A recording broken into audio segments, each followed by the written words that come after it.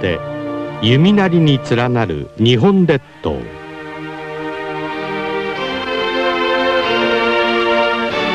最新の地球科学は日本列島の成り立ちをどのように捉えているのだろうか。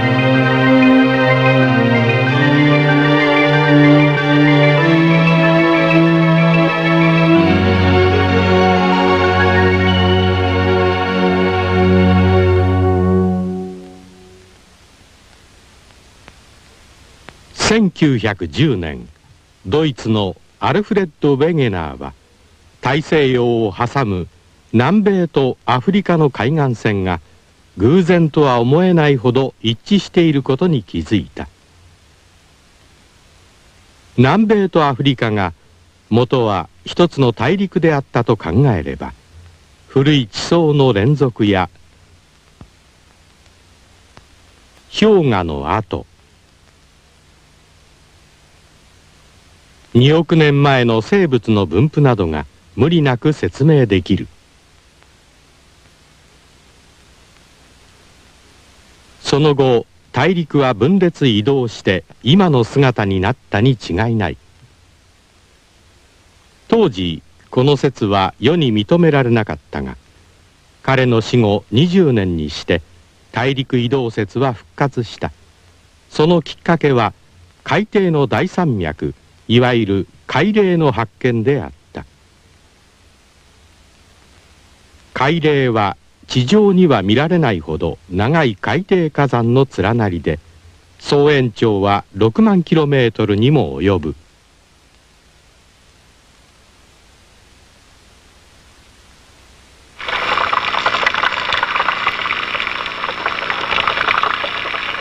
海嶺の上部では地下から上昇したマグマが海水で冷やされて枕状溶岩となる。その下では寒冷岩が作られる。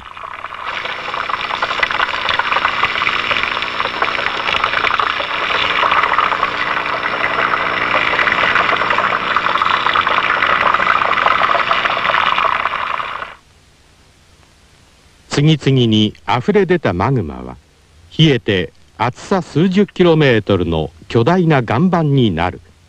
これがプレートである。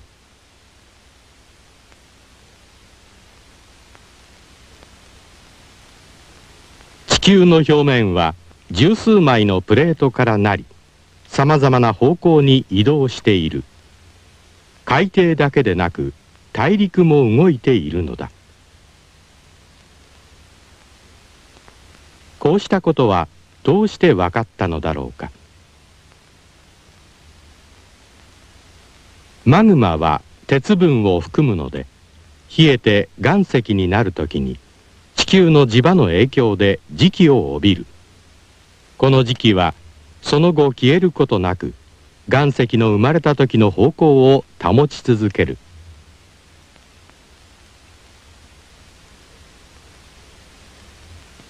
ところで地球の磁場は長い間にはたびたび南北が逆転してきた。そこで岩石が記憶する時期の方向を調べれば生まれた年代がわかる。海底の地磁気を調べてみると海嶺を軸に左右対称に地磁気の逆転が記録されていた。この縞模様から海底のできた年代と移動速度が分かったのである。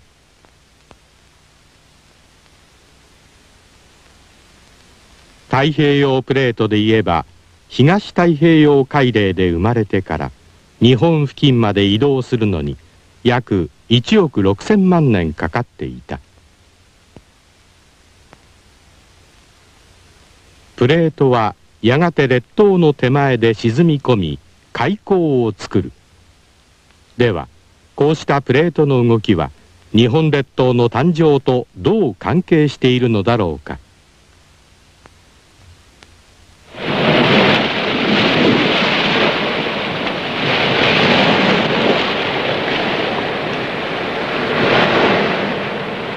西日本の太平洋岸には縞模様の地層がよく見られる。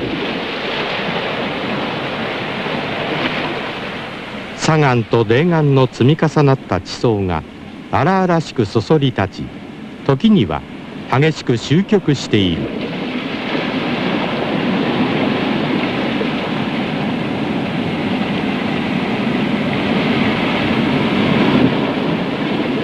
沖縄から関東まで延々1500キロに及ぶこの地層は四万十帯と呼ばれている。変形が激しく年代を決める手がかりに乏しいために謎の地層と言われていた。この四万十帯が実は日本列島誕生の謎を解く鍵を秘めていたのである。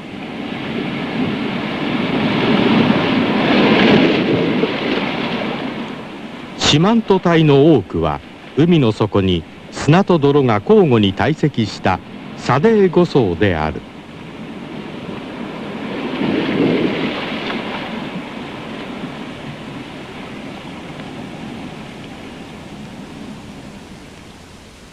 この砂の層を顕微鏡で見るとすべて陸地を作る花崗岩の破片である。風化の少ないことから一挙に堆積したことがわかる。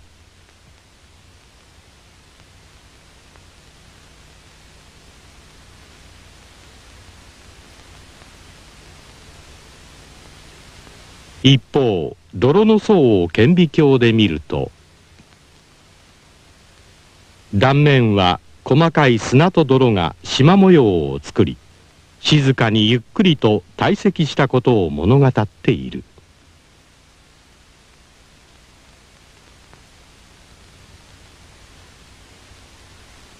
堆積の速度が周期的に変化する場所とはどのようなところだろうか。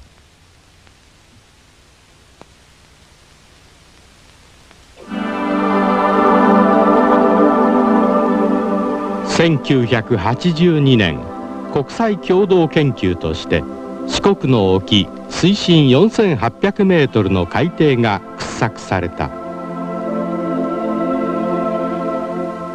南海トラフと呼ばれる浅い海溝の構造を調べて四万十帯の謎に迫ろうとするものである。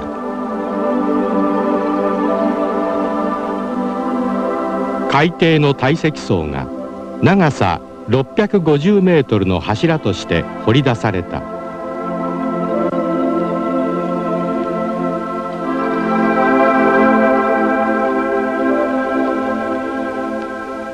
その上層550メートルは30センチほどの砂の層と5センチの泥の層が交互に重なっている。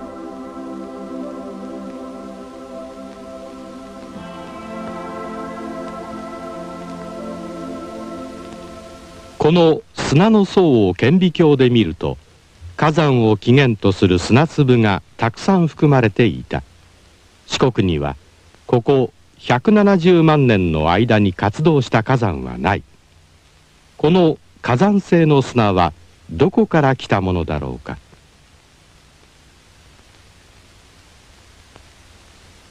南海トラフの砂と比較するために九州から伊豆半島に至る川や浜辺の砂が調べられた。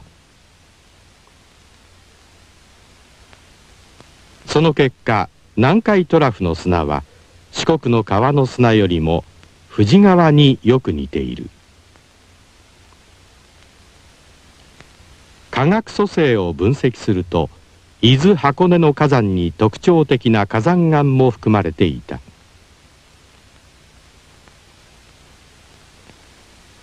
約600キロも離れたところの砂がなぜ南海トラフに堆積したのだろうか。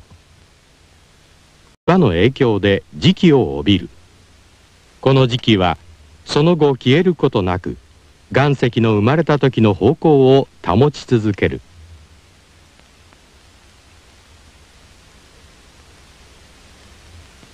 ところで地球の磁場は長い間にはたびたび南北が逆転してきた。そこで岩石が記憶する時期の方向を調べれば生まれた年代がわかる。海底の地磁気を調べてみると海嶺を軸に左右対称に地磁気の逆転が記録されていた。この縞模様から海底のできた年代と移動速度が分かったのである。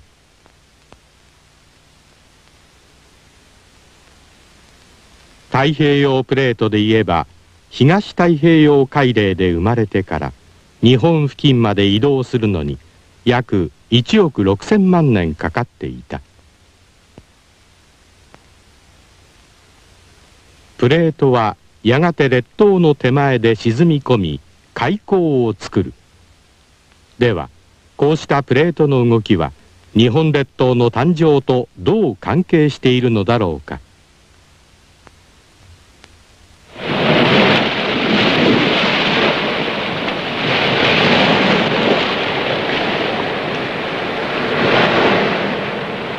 西日本の太平洋岸には縞模様の地層がよく見られる。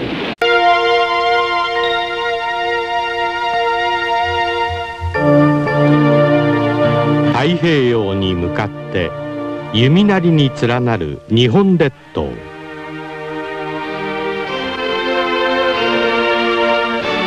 最新の地球科学は日本列島の成り立ちをどのように捉えているのだろうか。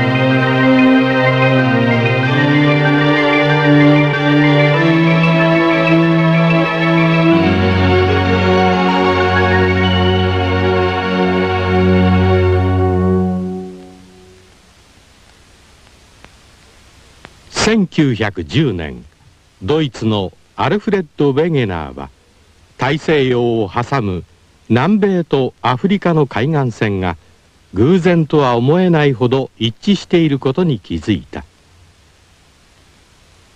南米とアフリカが元は一つの大陸であったと考えれば古い地層の連続や氷河の跡2億年前の生物の分布などが無理なく説明できる。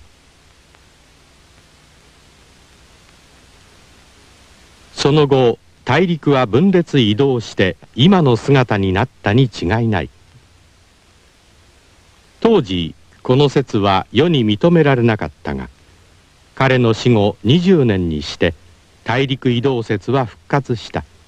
そのきっかけは海底の大山脈いわゆる海嶺の発見であった。海嶺は地上には見られないほど長い海底火山の連なりで総延長は6万キロメートルにも及ぶ。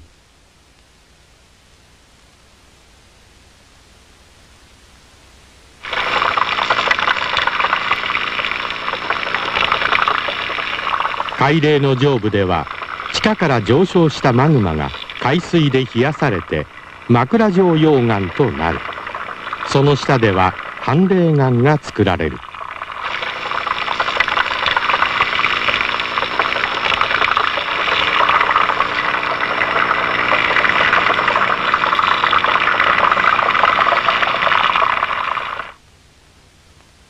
次々に溢れ出たマグマは冷えて厚さ数十キロメートルの巨大な岩盤になる。これがプレートである。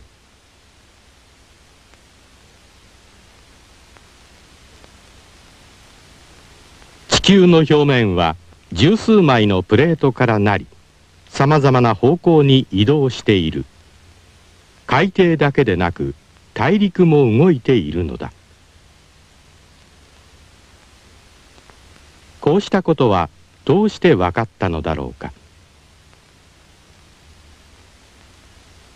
マグマは鉄分を含むので冷えて岩石になるときに地球の地砂岩と泥岩の積み重なった地層が荒々しくそそり立ち時には激しく終局している。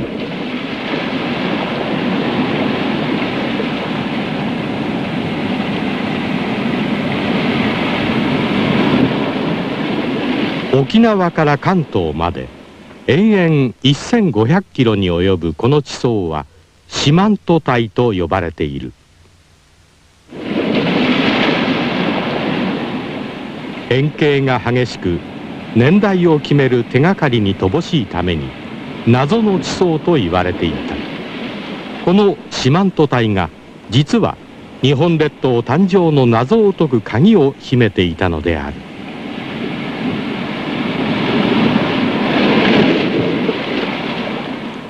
四万十帯の多くは海の底に砂と泥が交互に堆積した砂泥五層である。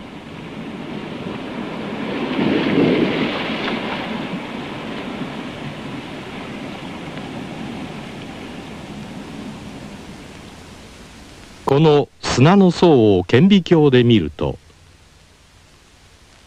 すべて陸地を作る花崗岩の破片である。風化の少ないことから一挙に堆積したことがわかる。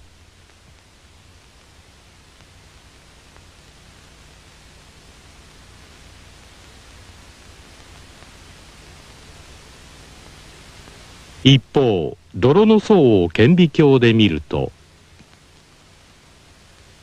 断面は細かい砂と泥が縞模様を作り静かにゆっくりと堆積したことを物語っている。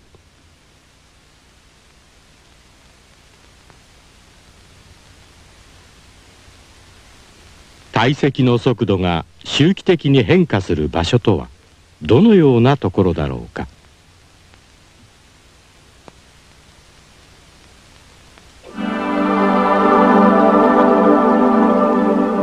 1982年国際共同研究として四国の沖水深4800メートルの海底が掘削された。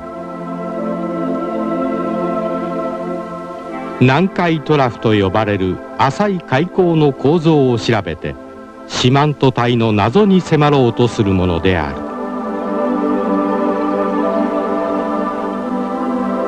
海底の堆積層が長さ650メートルの柱として掘り出された